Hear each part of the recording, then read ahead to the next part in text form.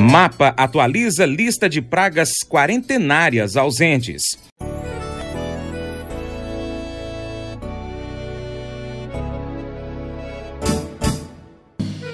Acordo de manhã para prosear no mundo do campo, as notícias escutar. Vem com a gente em toda a região com o seu programa Paracatu Rural. Tem notícias, informação e o mais importante, sua participação. Programa Paracatu Rural. Programa Paracatu Rural.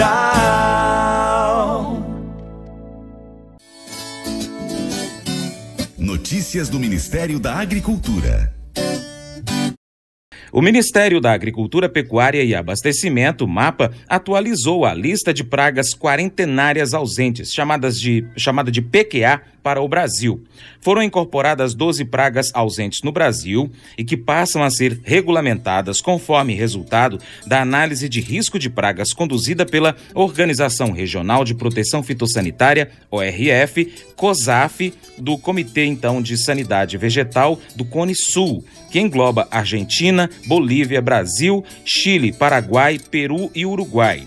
A lista atualizada está publicada na Instrução Normativa SDA Mapa número 85. Vamos conferir mais detalhes na reportagem de Sérgio Pastor, do Mapa em Brasília. As pragas incluídas são todas de interesse florestal para a região e o Brasil, sendo seis besouros, três mariposas, duas vespas e um psilídeo. A publicação da lista é uma das obrigações do Brasil como membro da Organização Nacional de Proteção Fitossanitária, assim como estabelecido na Convenção Internacional para a Proteção dos Vegetais.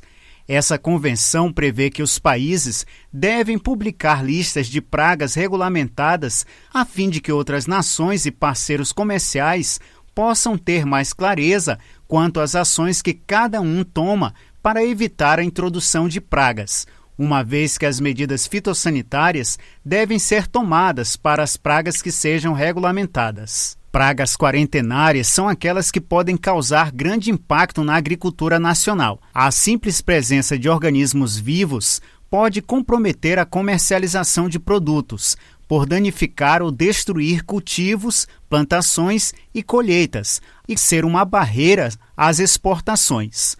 As pragas quarentenárias ausentes têm potencial de provocar prejuízos econômicos por não estarem presentes no território nacional, consideradas exóticas. As pragas quarentenárias presentes existem no país, porém não amplamente distribuídas e sob controle oficial. Cada praga apresenta riscos diferenciados em razão de suas características, como reprodução, sobrevivência, capacidade de dispersão e, por isso, são necessárias ações específicas de controle. A lista de pragas quarentenárias ausentes e presentes no Brasil é estabelecida pelo MAPA desde 2007. Para saber as novas pragas incorporadas, acesse o site do MAPA www.gov.br/agricultura. De Brasília, Sérgio Pastor. É isso aí. E para continuar recebendo as informações do agronegócio, inscreva-se em nosso canal.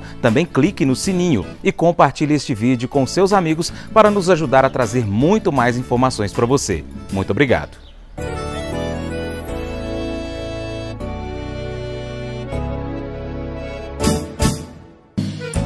Acordo de manhã